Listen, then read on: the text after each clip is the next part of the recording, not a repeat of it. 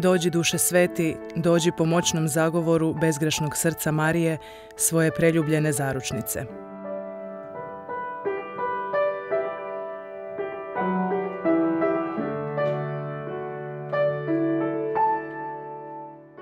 Iz Evanđelja po Luki.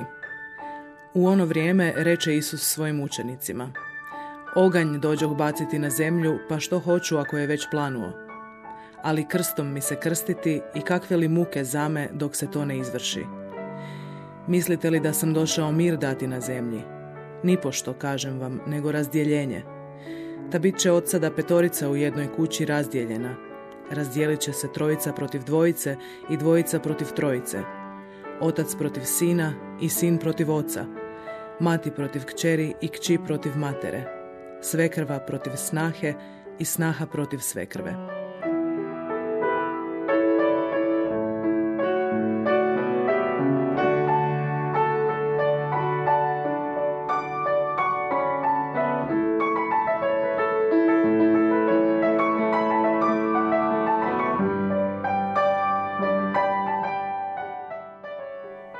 Hvaljen Bog, dragi vaši, sve vas od srca i danas pozdravljam.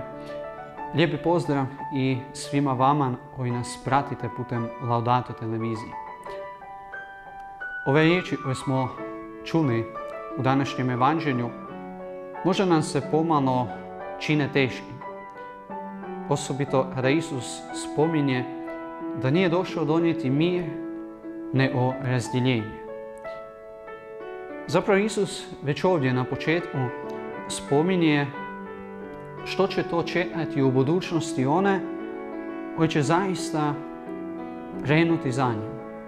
Koji će zaista biti njegovi nasljedovatelji, njegovi učenici.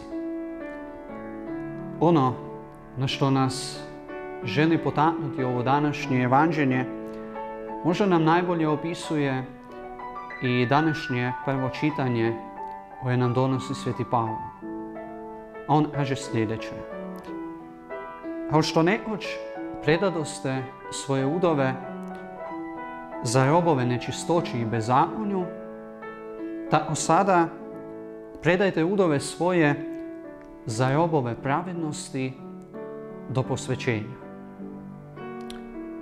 Zaista, braći i sestre, koliko nam je teško često puta da postanemo robovi pravednosti i robovi istine. A toliko lako postajemo robovi nečistoće, zla i bezakonja.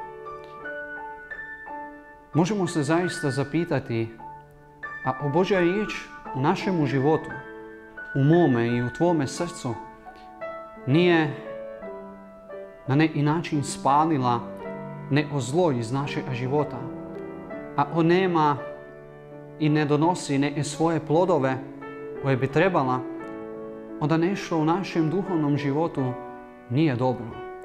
Nešto nismo dobro posložili. Zato pokušajmo danas moliti gospodina da on napravi potrebna razdjeljenja, da spali sve ono loše u našemu srcu, u našemu životu, da bismo uživali upravo one plodove koje nam Sveti Pavao donosi u današnjem čitanju. Da bismo uživali one plodove života s Bogom. Posvećenje sada, u ovome času, na ovoj zemlji, onda vjerujemo i vječni život u nebesima. Amen.